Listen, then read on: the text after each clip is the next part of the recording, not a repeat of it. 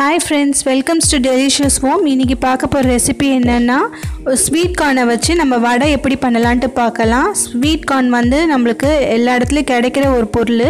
அதில் வச்சு ஈஸியாக வடை எப்படி செய்யலான்னு பார்க்கலாம். நான் நாலு ஸ்வீட் கார்னை வந்து அதை இதெல்லாம் எடுத்து தனியாக எடுத்து வச்சுக்கிட்டேன்.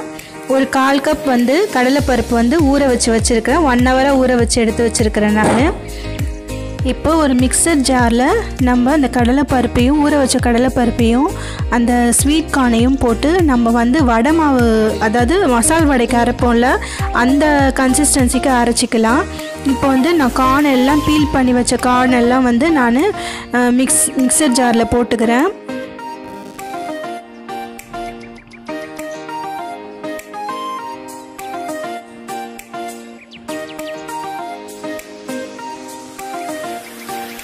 இப்போது இது கூட வந்து ஊற வச்ச கடலைப்பருப்பு அதையும் போட்டுக்கிறேன்.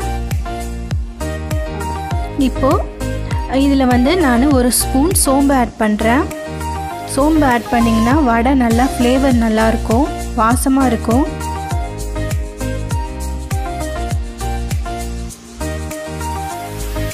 அப்புறம் கொஞ்சம் ஒரு சின்ன துண்டு இஞ்சி ஆட் பண்ணுறேன் கொஞ்சம் கருவேப்பிலை ஆட் பண்ணுறேன்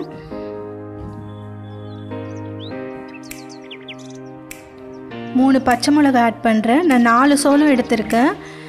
கால் கப்பு வந்து கடலைப்பருப்பு எடுத்திருக்கேன். அதனால் நாலு பச்சை மிளகா ஆட் பண்ணுறேன் ஏன்னா இது ஸ்வீட் கார்னால் வந்து இனிப்பாக இருக்கிறதுனால நான் வந்து பச்சை மிளகா அதிகமாக ஆட் பண்ணியிருக்கேன்.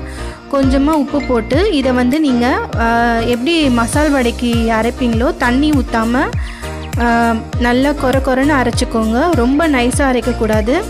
பாருங்கள் இந்த அளவுக்கு நான் அரைச்சிக்கிட்டேன். இப்போ இதை ஒரு பவுலில் நம்ம ட்ரான்ஸ்ஃபர் பண்ணிக்கலாம். பாருங்கள் இந்த அளவுக்கு இருக்கணும் கன்சிஸ்டன்சி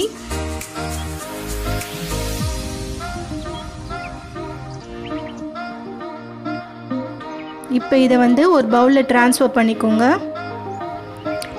இப்போது நான் எல்லா எல்லா அரைச்ச இதையும் ஒரு பவுலில் ட்ரான்ஸ்ஃபர் பண்ணிட்டேன். இப்போது இதில் வந்து ஒரு ரெண்டு ஸ்பூன் வந்து அரிசி மாவு ஆட் பண்ணிக்கலாம். ஏன்னா அப்போ தான் வந்து அந்த பைண்ட் ஆகும். அப்போ தான் நம்மளுக்கு வந்து அந்த வடை தட்டி போட ஈஸியாக இருக்கும். சாரி நான் ஒரு ஸ்பூன் ஆட் பண்ணியிருக்கேன் ரெண்டு ஸ்பூன் சொல்லிட்டேன். அப்புறம் வந்து ஆனியன் தேவையான அளவு ஆனியன் ஆட் பண்ணிக்கோங்க. ஆனியன் வந்து உங்கள் விருப்பம் நிறையா போடணும்னு போடலாம். நல்லாயிருக்கும் வடைக்கு ஆனியன் நிறையா இருந்தாலும் நல்லா தான் இருக்கும்.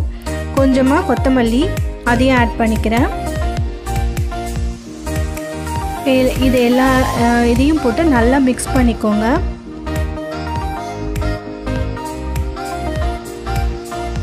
நல்லா மிக்ஸ் பண்ணிவிட்டு நம்ம மசால் வடை எப்படி தட்டி போடுவோமோ அந்த மாதிரி நம்ம ஃப்ரை பண்ணி எண்ணெயில் ஃப்ரை பண்ணி எடுத்துக்கலாம். அவ்வளோதான் ரொம்ப சூப்பராக இருக்கும். கார்னு வந்து ஈஸியாக கிடைக்கிற பொருள். எல்லா சூப்பர் மார்க்கெட் அங்காடி இந்த மாதிரி இடத்துல வந்து கார்ன் நிறையா கிடைக்கும் ஸோ நீங்கள் அங்கே ஈஸியாக கிடைக்கும். வாங்கிக்கலாம். இது வந்து இந்த மாதிரி வடை செஞ்சு கொடுத்தீங்கன்னா ஹெல்த்துக்கும் நல்லது. கிட்ஸும் ரொம்ப விரும்பி சாப்பிடுவாங்க. இந்த மாதிரி ஈவினிங் ஸ்நாக்ஸாக செஞ்சு கொடுங்க. அதுவும் ரெய்னி சீசனில் வின்டர் சீசனில் இந்த மாதிரி ஸ்நாக்ஸ் எல்லாம் சூடாக செஞ்சு சாப்பிட்டா ரொம்ப நல்லாயிருக்கும் டீக்கு ஒரு நல்ல ஒரு காம்பினேஷன் இது. ஈவினிங் டைமில் இந்த மாதிரி ஈஸியாக உடனே செஞ்சிடலாம். இப்போ பாருங்கள் எண்ணெயை நல்லா காய வச்சுட்டேன். நம்ம மசால் வடைக்கு தட்டி போடுற மாதிரி கொஞ்சமாக நான் எடுத்து போட்டு பார்த்தேன் எண்ணெயில் எண்ணெய் நல்லா ஹீட் ஆகிடுச்சு இப்போ பாருங்கள் நான் ஒரு கையிலேயே தான் எடுத்து தட்டி அப்படியே எண்ணெயில் போடுறேன். இந்த மாதிரி நீங்கள் எல்லா இதையும் போட்டு எடுத்துக்கோங்க. ஒரு பக்கம் நல்லா செவந்தோடனே மறுபக்கம் திருப்பி போட்டுக்கோங்க. இந்த மாதிரி எல்லா வடையும் பொறிச்சு எடுத்துக்கோங்க. அவ்வளோதான் ஈஸி ரொம்ப சிம்பிள் அண்ட் ரொம்ப ஹெல்த்தியும் கூட. இந்த மாதிரி பாருங்கள் நல்லா கலர் நல்லா கோல்டன் ப்ரௌன் ஆகிடுச்சு இந்த மாதிரி இருக்கிறப்ப நல்லா திருப்பி திருப்பி போட்டுட்டு எடுத்துக்கோங்க. இந்த மாதிரி எல்லா மாவையும் வந்து பொறிச்சு எடுத்துக்கலாம். ரொம்ப ஈஸியான ஸ்நாக்ஸு ரொம்ப ஹெல்த்தியும் கூட. கண்டிப்பாக ட்ரை பண்ணி பாருங்கள்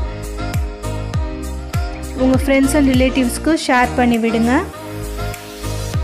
பாருங்கள் நல்லா ஃப்ரை ஆகிடுச்சு இப்போது இதை எடுத்துடலாம். இந்த மாதிரி எல்லா மாவையும் வந்து தட்டி போட்டு ஃப்ரை பண்ணி எடுத்துக்கோங்க. அவ்வளோதான் பாருங்கள் கிறிஸ்பியான ஸ்வீட் கார்ன் வடை ரெடி ஆகிடுச்சு இந்த மாதிரி செஞ்சு உங்கள் கிட்ஸுக்கு கொடுங்க. ஈவினிங் டீ டைம் ஸ்நாக்ஸாக வந்து உடனே செஞ்சு சாப்பிட்டுலாம் ரொம்ப நல்லாயிருக்கும் டேஸ்ட்